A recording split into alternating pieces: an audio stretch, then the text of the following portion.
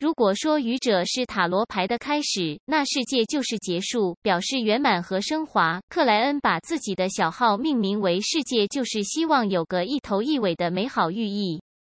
以后很多我不方便说的事情和提的要求，都能让世界代劳了，这会极大的降低愚者形象坍塌的可能。有马甲不有小号的人生才是完整的人生。克莱恩心情舒畅的暗赞一声，挥手让世界消失。接着，他蔓延灵性，包裹住自身，坠入灰雾，回到了现实世界。他将罗萨哥那枚全黑之眼留在了灰雾之上，反正他平时也没法使用这件物品，还得时刻担忧着被人发现或者丢失。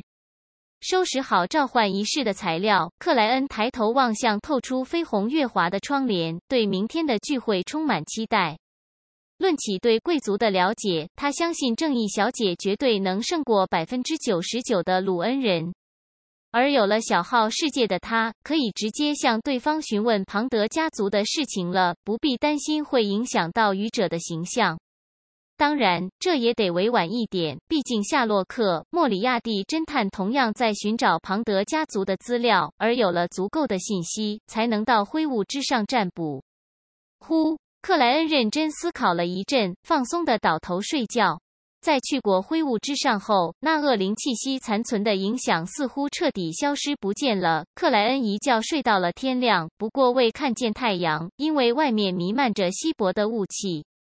他按照预定的计划继续跑贝克兰德的其余公立图书馆，但不再询问管理员，不再提庞德家族，只是自行翻阅涉及贵族的那些资料。下午两点四十分，克莱恩提前进入了灰雾之上的神秘空间。恢宏古老的宫殿里，他坐到属于愚者的位置，种在斑驳铜绿的长桌对面，具现出假人世界，熟悉起操作感。过了好几分钟，克莱恩掏出怀表看了一眼，给象征太阳同学的深红星辰传递去了准备聚会的意念。等待的时候，他把玩起那只全黑之眼，给他装了一条银链，然后缠绕于右手手腕，用衣物袖口进行遮掩。下午三点，一道道光芒腾起于巨人居所般的宫殿内，正义、倒吊人和太阳分别投影出了染着微赤的模糊身影。下午好，愚者先生。踢了下午，奥黛丽正要向塔罗会每一位成员打招呼，视线突然扫到了坐在最末端的那道身影。那是一个披戴兜帽黑袍的陌生人，他同样虚幻而朦胧。这位是奥黛丽，有些疑惑又有些欣喜的望向愚者先生。塔罗会再次发展壮大了吗？是福尔斯，还是修不身高不符，或者别的什么人？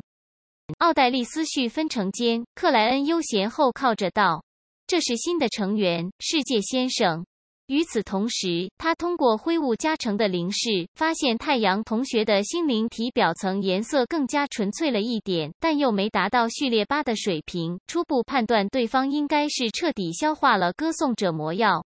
你好，正义。奥黛丽礼貌地打了声招呼，好奇地审视起那位新晋成员。他很快就从朦胧灰雾里透出的些许细节读出了相应的信息。世界先生是位情绪内敛、很少肢体动作、一直板着脸孔的人。不知道他来自哪里，鲁恩、因蒂斯，或者像白银之城那么神秘的地方。奥黛丽若有所思地点了下头。经过一次次聚会，他从太阳的口型对不上他的话语这个现象判断出了一件事情，那就是对方说的很可能不是鲁恩语，自己等人听到耳朵里的内容大概率来自愚者先生的转译。在倒吊人阿尔杰、太阳戴里克分别和世界打过招呼，而那位新晋成员相当冷淡的做出回应后，克莱恩望向正义道：“你提议的两个人选还在考察中。”我给你一个简单的任务，你以你的名义委托给他们，这是考察的一部分，就应该这么严格。奥黛丽不仅不觉得失望，反倒认为理所当然。塔罗会的成员必须是经过严格挑选的，不是谁都能成为。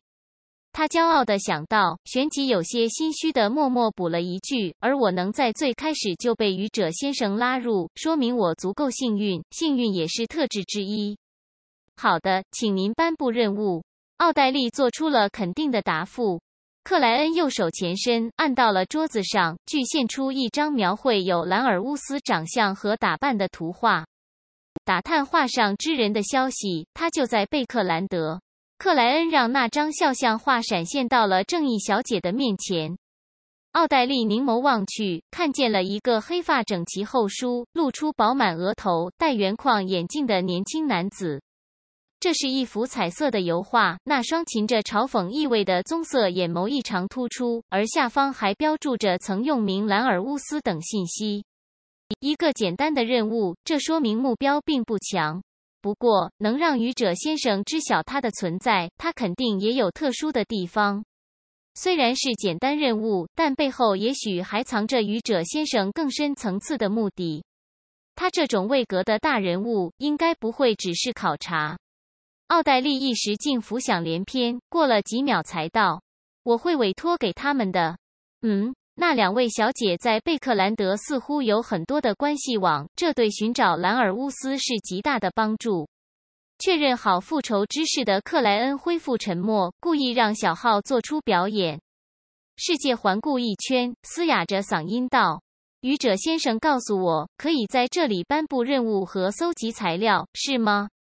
是的，正义奥黛丽优雅颔首道，但你必须耐心等待，接下来属于愚者先生的阅读时光。我完成了刺杀因蒂斯大使贝克朗的任务，都没抢先提出，占据这段时间。他微抬下巴，地在心里想到：正义小姐，你很有主人翁精神吗？等下我得付出一定的知识，让刺杀贝克朗的任务真正收尾。克莱恩好笑地收回目光，望向倒吊人。倒吊人阿尔杰·威尔逊因为新来了一位成员，没盲目开口，保持着沉默，暗中进行观察。此时见愚者先生望来，他忙谦卑地行了一礼，道：“这次还是六页，最后的一页，下次给您。”可以。克莱恩轻轻颔首道。倒吊人忙收束精神，回忆内容，急于表达出来的强烈意念。他很快书写好六页日记，看见他们豁然消失，出现在克莱恩的手中。克莱恩低头望去，扫过了第一页的内容。二月九日，我有了第三个孩子，我给他取名为伯诺瓦。我的长女贝尔纳黛是幸运的，我和她的母亲当时都只是低序列的非凡者，她可以自由地选择她想走的道路。我的长子夏尔是最不幸的，他只遗传了很少的非凡特性，却不得不重复我的道路。也许他可以在序列四的时候做出改变，但高序列永远不是那么容易成就的。我的次子伯诺瓦是介于贝尔纳代和夏尔之间的，我给予了他相当于序列五非凡者的特性，这让我减轻了负担，能更快的消化魔药，加速晋升。而刚出生的他已经是能展现各种特异的新术师。查拉图暗中来恭贺我，称赞伯诺瓦是一个可爱的天使。我问这位占卜大师，伯诺瓦将来会有什么成就？他只是笑了笑，没回答我。我又问他夏尔的未来，他终于开口，告诉我死亡是不可避免的结局，但这也许是好事。真是的，占卜家的话语永远都是这么含糊，让人想撬开他的嘴巴。我最后问了贝尔纳代的未来，他忽然变得很严肃。他说，他将憎恨我、厌恶我、背弃我，他将成为神秘世界的一位大人物。有的时候，真的不应该去问占卜的结果。我很难相信，我可爱的、善良的、爱护弟弟、崇拜爸爸、心疼妈妈的贝尔纳代会憎恨我、厌恶我、背弃我。这到底是因为什么？我做了过分的事情。或许他有了我不满意的爱慕对象，被我弄死了那个臭小子。不，查拉图又不是先知，得到的占卜结果有可能是错误的。忘记这件事情吧，罗塞尔。我好像闻到了家庭狗血剧的味道。看完第一页日记的克莱恩忍不住腹诽了一句。与此同时，他脑海内自然浮现出查拉图对贝尔纳代未来的描述。神秘世界的一位大人物，这是指超凡者的世界吗？到底什么层次才能被称为大人物？克莱恩若有所思地将日记翻页。五月二十二日，索伦家族的弗洛朗竟然想让我做他的手下。我看起来像是会做跟班狗的人吗？他的态度简直让人无法接受。我发誓，将来一定要让他为今天的傲慢付出代价。不过，他提到的一些事情倒是很有意思，很值得琢磨。